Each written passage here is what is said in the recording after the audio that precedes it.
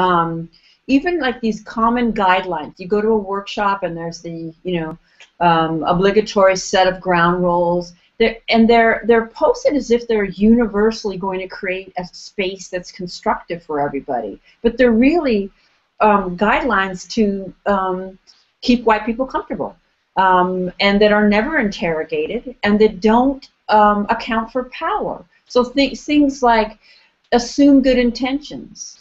No, uh, focus on impact. Your intentions, yeah, of course, I will start from the premise that you have good intentions. Although honestly, I, I find that irrelevant. I want to know what my impact was. Um, uh, another one is I'm actually working on it. I know that I'm a little controversial and provocative. Okay, so and I and I think that's important. Um, I'm working on a piece on trust, right? Because this is another one.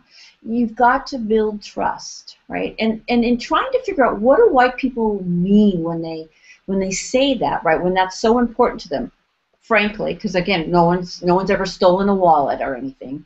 Um, so uh, what I have found that they mean is I need to um, trust that you don't think I'm racist before I can work on my racism. I need to trust that you won't judge me as, ra- you know, well, you won't judge me, and usually that is you won't judge me as being racist. Well, first of all, that's not humanly possible to not judge. That's another one you get. Don't judge. Don't make assumptions. The nature of an assumption is you don't know you're making it. That putting that on the list will not stop me from making my assumptions. Okay. How about be willing to examine your assumptions if they're pointed out to you, right?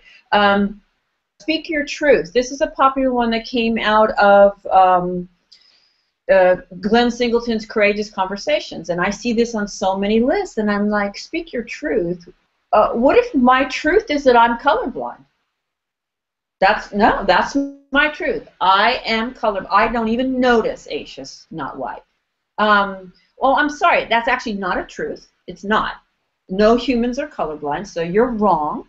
Um, and um, I'm not going to like hold a space where misinformation can be affirmed. We're here to challenge racism, and integral to racism is misinformation, right?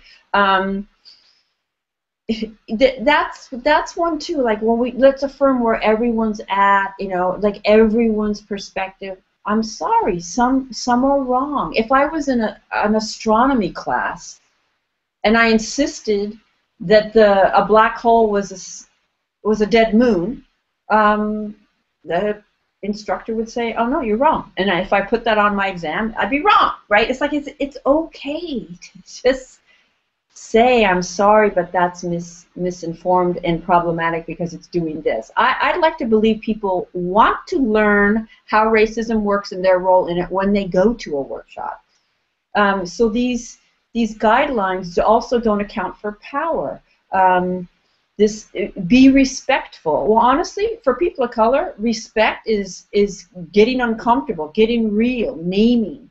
And for white people, respect is don't make me uncomfortable, uh, don't make me feel bad. Um, so, yes, I see so much coddling.